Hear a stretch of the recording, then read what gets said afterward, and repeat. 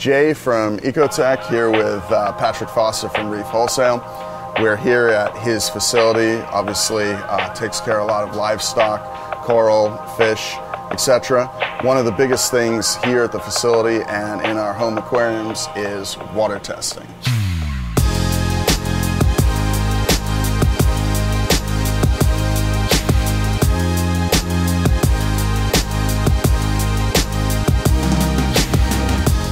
Yeah, so we test our tanks obviously for salinity a couple times per day. We test alkalinity daily. We test copper daily on our fish, and we test the calcium and magnesium uh, three times a week Monday, Wednesday, Friday. And one of the things which I've noticed about the way you test is you actually have a test station set up. And this test station has a number of things to make sure that even though you have a number of different people doing water testing, they're typically going to come to the same result because it's you've taken some of the subjectivity out of the testing process, right? Yeah, we've, we've made it, we've standardized it to make it a little bit easier. Uh, we have all of our test kits in one area right up here. Uh, we keep a spare on hand at all times, so we never run out of any specific test kit. And we have our, our super low tech uh, and, and kind of ghetto uh, 2 by 12 here that we drilled some holes in, and we take our samples from each system with the corresponding syringes, and we bring it over here and we put it on the magnetic stir.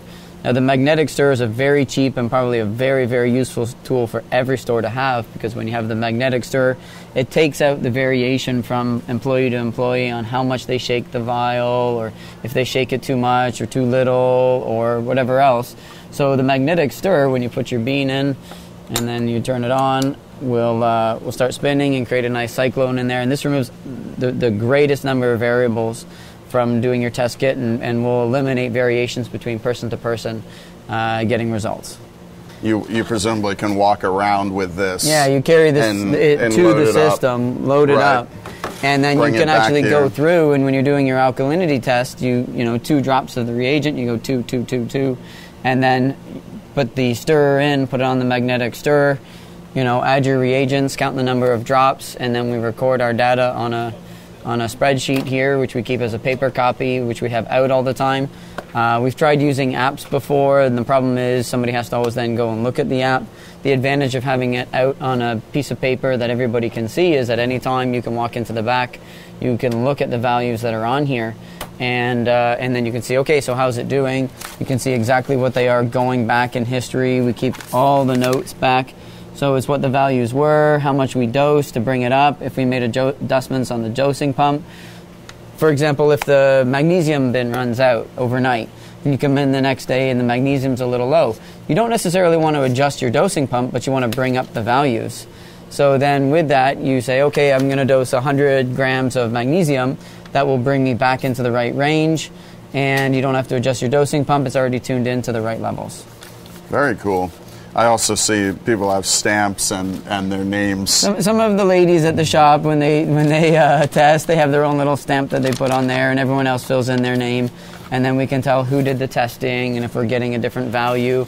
If if uh, Mike tests on Monday and Friday, and Lauren tests on Wednesday, and Mike's values are the same, but Lauren's values are completely different, then we can go back and say, well, wait a minute, is there something wrong with your testing?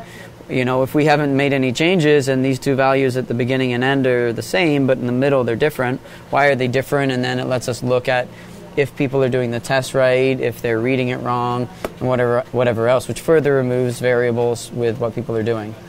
Just an interesting final point and anecdote on testing is that not to um, have any sexual discrimination in your workplace, but women are actually much better at testing than men, not just because they're more organized and, and typically harder working, etc., but because Yeah, we think we think that men are uh, most of them are partially colorblind, especially in the it's blue fact. spectrum. It's actually a fact. So when we're doing the copper test kit, uh, only the ladies are allowed to do it. There's one of the guys that are in here uh, that's allowed to do it, and we we had it basically everyone in the shop do the copper test kit, and the guys got all completely different values. I'm not allowed to test copper, and all the women got the exact same values.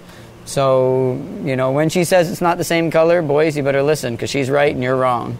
I looked it up. It's actually true. The um, color blindness is on the X chromosome, of which men have one, women have two. But you would think that would make women more likely, but in actuality, they're less likely because the odds of having um, the correct gene sequence or what have you is they're twice as likely, or they have two chances to uh, to have good color vision, whereas men only have one chance to have good color vision. So pretty interesting, and Yeah. um, especially if you're running an aquaculture facility, something to to watch out for in your testing. especially with copper levels. Your copper levels have to be very, very, very precise all the time in the right range in order for your copper to be effective. If it goes out of the right range, it could be toxic to the fish. If it goes too low, it's not going to be effective. or it could be highly toxic to the coral, right? Are highly toxic to the coral. Yeah, that's not good. All right. Well, that's um, very interesting stuff, and I think it was. It, I think the community in particular is um, testing is something that should we should always be talking about all the time. So, Oh, one um, thing too, if you if you're if you're doing a magnesium test kit, I'll pick on magnesium today, and all of a sudden you're getting a value that seems out to lunch. We will always open another magnesium test kit and test against that because uh, sometimes we have test kits that will work for a while and then suddenly have gone off. So it's another good reason to always have a spare test kit on hand. If you're getting a funky value and it's just not making sense, open another test kit and test it.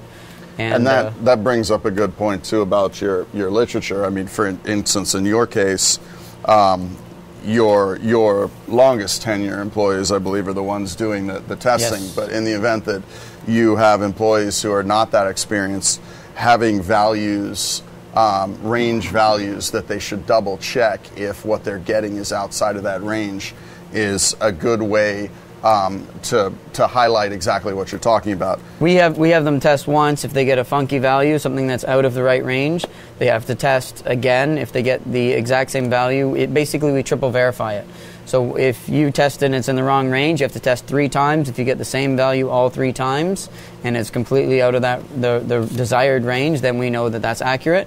In which case, uh, in which case we need to take and, appropriate and that, action. that's a that's a really good procedure and one that if, if you have people who aren't that experienced you might actually want to put right there on your on your sheet we certainly have had that experience in the office when we've had new uh, employees testing they don't know what they're looking for so um, when they get a value that is completely out of the range it seems perfectly normal maybe a problem or maybe an error with the way they're running their tests That's either right. way you know you should be aware of it not just documenting some erroneous values so very interesting all right patrick thank you Thanks, very Jake. much that was, uh, That was very fun. informative